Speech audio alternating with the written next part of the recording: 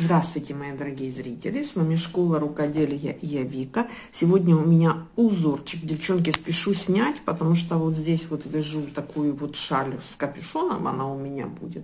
И он деформируется. Я сейчас снимаю узор, шаль будет в следующем видео.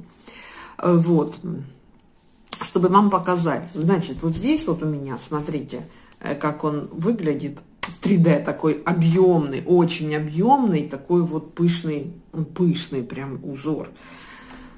Э, вот такой вот интересный с изнанки. Вот такая вот картина.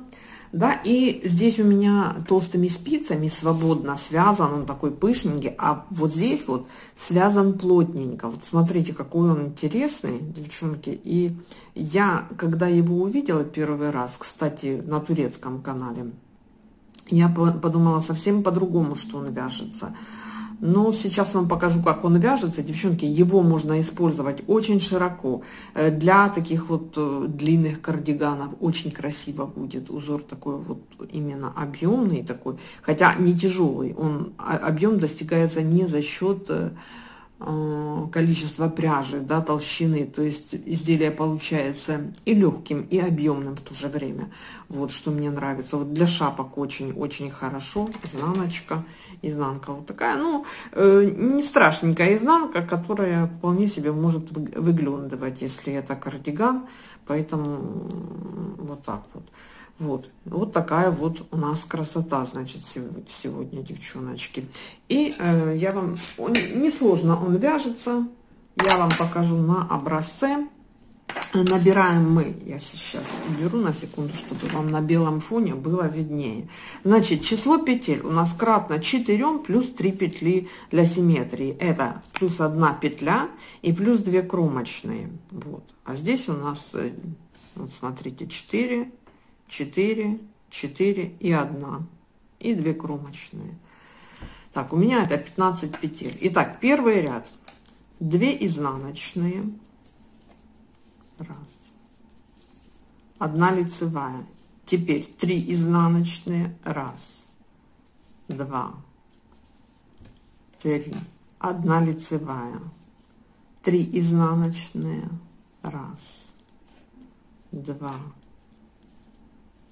три, одна лицевая и две изнаночные, раз, два, и кромочная изнаночная. Ну, тут кромочная изнаночная, либо лицевой, тут уже на ваше усмотрение. Итак, смотрим. 2 изнаночные, лицевая, 3, лицевая, 3, лицевая, 2. То есть начало и конец по 2 изнаночные. Везде 3. Раппорт у нас состоит 3 изнаночные, лицевая петля. Либо отсюда считаете 1 лицевая, 3 изнаночные. Вот он раппорт из 4 петель. Начало и конец двух изнаночных. Да, получается вот так вот считаем. Если это начало 2 изнаночные, то вот начало раппорта лицевая, 3 изнаночные, лицевая, 3 изнаночные. Так, второй ряд изнаночный по узору. Там, где лицевые, лицевые петли, где изнаночные, изнаночные петли. Э, тут обращай внимание, кто потом будет вязать эту шаль, потому что нам потом придется вклинивать узор. Поэтому ориентируемся больше визуально. Я там нюансы буду проговаривать в шале.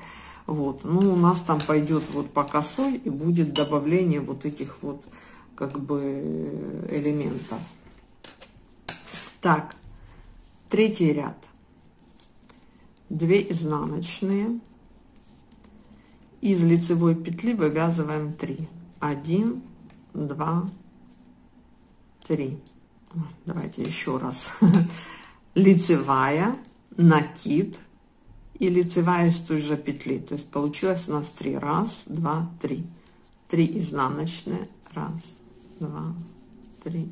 Из лицевой петли вывязываем три лицевые. Лицевая, накид, лицевая. Три изнаночные из лицевой петли, то есть из всех лицевых петель мы делаем по 3 петли и 2 изнаночные и кромочная. Четвертый ряд. 2 лицевые, 3 изнаночные, 3 лицевые. Вот эти три изнаночные мы провязываем те три, которые мы сделали из одной лицевой. 3 лицевые, 3 изнаночные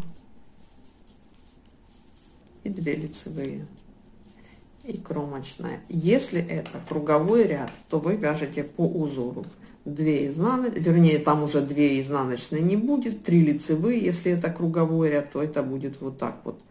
Раппорт из 4 петель. 3 лицевые, но сейчас уже больше мы добавили. 3 изнаночные, 3 лицевые, 3 изнаночные. Это четвертый ряд, если он круговой. Кстати, второй ряд, если он круговой, то тоже по узору лицевая 3 изнаночные. Пятый ряд 2 изнаночные. Ой, неправда. Одна изнаночная. А вот эту изнаночную мы провязываем вместе со следующей лицевой. Лицевую поворачиваем и с уклоном вправо провязываем. Вводим спицу слева направо. Одна лицевая здесь. Провязываем вместе лицевой. Эту лицевую следующую изнаночную. 1 изнаночная, далее 2 вместе с уклоном вправо, 1 лицевая, 2 вместе с уклоном влево, изнаночная, 2 вместе с уклоном вправо. Кстати, уклоны при круговом вязании могут отличаться. Вправо, лицевая, 2 вместе с уклоном влево, изнаночная и кромочная. Вот он раппорт пятого ряда. Это 2 петли вместе. Если это круговой ряд, то понятное дело, они 2 петли вместе будут с предыдущей изнаночной петлей. Лицевая 2 вместе изнаночная. Вот он раппорт. Шестой ряд. По узору 1 лицевая, 3 изнаночные. 1 лицевая, 3 изнаночные,